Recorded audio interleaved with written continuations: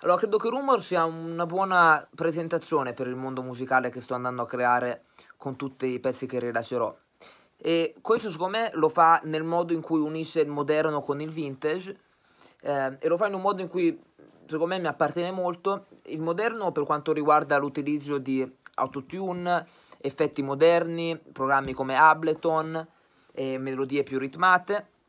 mentre invece il vintage è più per quanto riguarda la cattura dei veri e propri suoni. Siamo andati in studi di registrazione vintage, abbiamo registrato tutti gli strumenti suonati da musicisti da inizio alla fine della canzone, quindi senza l'utilizzo di loop. Eh, sostanzialmente unendo questi due approcci abbiamo creato il mondo in cui cade Rumors. Rumors è nata nello studio del mio collaboratore Davide Malvi, dove siamo partiti da una sua idea e poi siamo andati a svilupparla, entrambi seduti su degli strumenti, lui era seduto alla batteria e io alla chitarra e alla voce, per portarla eh, nel mondo moderno vintage di cui parlavo prima. E successivamente, una volta che avevamo lo scheletro della canzone, l'abbiamo portata ai produttori Fat Bastards, che hanno, l'hanno praticamente consolidata e resa un prodotto radio pronto per la radio. Dal punto di vista musicale c'è un termine che sto utilizzando per andare a descrivere le canzoni che andrò a rilasciare anche le sue influenze, che è urban rock,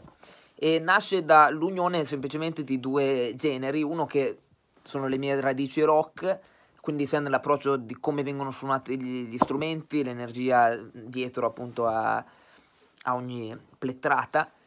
unita a eh, tutto quello che ha a che fare con la musica black e urban, trap, hip hop, RB, e quindi appunto cercare di trovare un mondo che... Eh, unisca entrambi questi generi. Nel corso della mia vita ho avuto la fortuna di vivere in tanti posti diversi, come per esempio Shanghai, Milano e Los Angeles. Eh, a Shanghai ho, vis- ho, vissuto 4 anni, da 14 a 18 anni, e i primi anni sono stati molto molto duri e passavo le giornate praticamente chiuso in casa e lì il mio amore per la musica è davvero esploso in quanto ho capito che era proprio quello che volevo fare. Eh, però fino a quel momento non avevo espanso il mio sapere musicale oltre che la musica rock. Questo, questa modernizzazione diciamo, è arrivata da, dai 18 anni in poi, quando mi sono trasferito a Los Angeles e ho, mi sono diciamo, tuffato in collaborazioni con eh, artisti eh, urban più moderni, quindi ho diciamo, aperto la mia mente a tante altre musica. Quello che mi ha convinto a fare il salto da artista a autore è stata la ricerca di stimoli nuovi, perché quando una persona lavora come autore, il suo lavoro creativo finisce nello studio una volta che la canzone è completata. Mentre tutta quella parte di magari pensare a un videoclip, pensare a un concetto, vestiti, immagini, colori, sono, tutti, eh, sono tutte strade che un autore sostanzialmente non, non, su cui non viene interpellato. Quindi anche con tutto il tempo nuovo eh, a me disponibile durante il lockdown ho, ho pensato di appunto intraprendere queste strade nuove. Eh, nel campo autorale ho anche lavorato per il eh, progetto di amici di Maria Di Filippi e è un'opportunità che è nata mentre ero a Los Angeles tramite un produttore italiano chiamato Chicco Palmosi a cui era rientrato il lavoro e è stato molto interessante eh, lavorare a questo programma perché c'è una struttura molto, molto grande che va dietro agli artisti che fanno parte di quel programma e quindi lavorare su eh, specifiche e eh, certe richieste di, di A&R vari che facevano appunto parte del programma è una roba che mi ha fatto crescere molto eh, soprattutto quando in una giornata c'è una botta e risposta di questo va bene, questo non va bene, cambia questo per questo motivo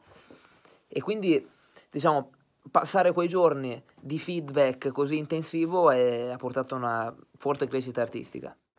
Anche se adesso ho iniziato un percorso artistico, ho sicuramente intenzione di continuare come autore e produttore. Questo perché lavorando per altri hai la possibilità di spaziare su molti più generi musicali. Io una cosa che amo molto fare è eh, non solamente rimanere nell'urban rock, che magari è quello che sto seguendo col mio, col mio progetto, ma invece anche provare musica elettronica, musica prettamente trap. E lavorando per artisti diversi è possibile immergersi in questi mondi musicali nuovi. Negli ultimi giorni è uscito il videoclip di Rumors che ho montato io e originalmente doveva essere una roba completamente diversa, ma nel corso de, de, del filmato della prima parte del, del, video è successo che è entrata una tempesta e sono naufragato su un'isola per, per, due giorni, fino a che non sono stato salvato da un pescatore. E, e quindi ho montato appunto queste scene e sono riuscito a creare il video musicale che ironicamente credo che descriva anche la situazione che tutti abbiamo vissuto durante il lockdown, dove eravamo impotenti di poter vedere altre persone e incapaci di capia- cambiare la nostra situazione. Dopo questo singolo di debutto che è Rumors, ho già diverse canzoni che sono in cantiere. Già, per esempio, il 15 di giugno sarò in Polonia a finalizzarne 4 che verranno rilasciate nei prossimi mesi. E poi una cosa che tengo a fare è che ogni canzone che seguirà eh, Rumors in questo caso e poi quelle future vadano a raccontare una storia eh, coerente e anche sorprendente allo stesso tempo, eh, quasi che racconti una vita ingrandita di Zoe Vivaldi.